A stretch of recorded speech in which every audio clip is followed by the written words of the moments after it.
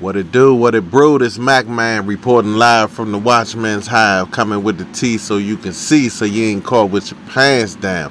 Look at this, it's here, y'all. DC Mayor to require vaccination papers for citizens leaving home starting on January 15th. Uh-oh, it's here. So I'm gonna read this article real quick. DC mayor to require vaccination papers for citizens leaving home starting on January 15th.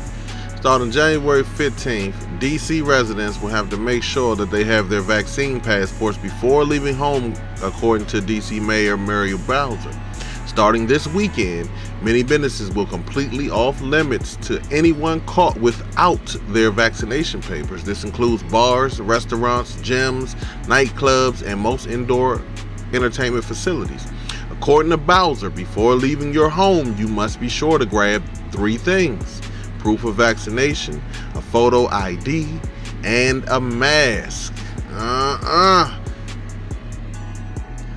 The actions of Mayor Bowser have set off a heated debate on social media, with many claiming this to be a major infringement upon the rights of DC. A list of places in DC where vaccine card and photo ID will be needed starting Saturday. Then it just lists like, you know, the bars and the nightclubs and the gyms and pretty much everything. Like you you need a vaccination card to, to maneuver through here, pretty much. Um, I'm actually in Alexandria, Virginia, which is right outside of Washington, D.C. I'm literally like seven minutes across this bridge. Uh, it's only a matter of time before it's here. It's only a matter of time before it's in Maryland. It's only a matter of time before it's it's it's where you are. Like it's gonna be a wide, worldwide thing, man. And I mean, it can be at your door just like that. And if you plan to, you know, be uh, you know, uh, pure blood or whatever, like, what are you gonna do? What's your plan? How are you gonna prepare? Like, just like that, it can be at your door, man. And I mean, you won't be able to buy, to sell, any of that. That sounds like the mark of the beast talk to me.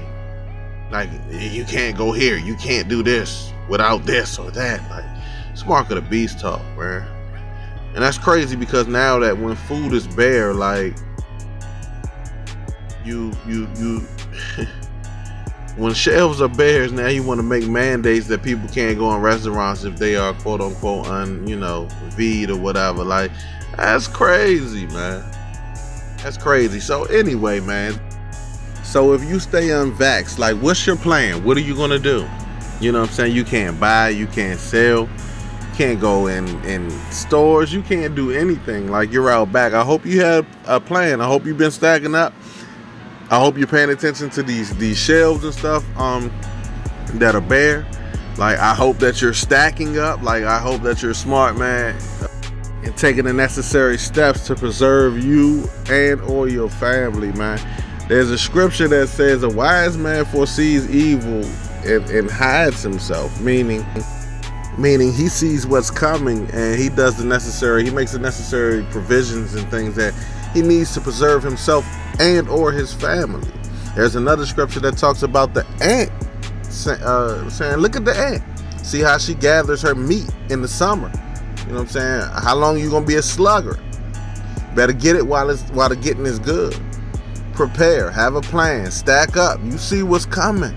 It's not a game. It's about to get real out here, and it's gonna get real, real, real fast. So have a plan, pray, have faith, prepare.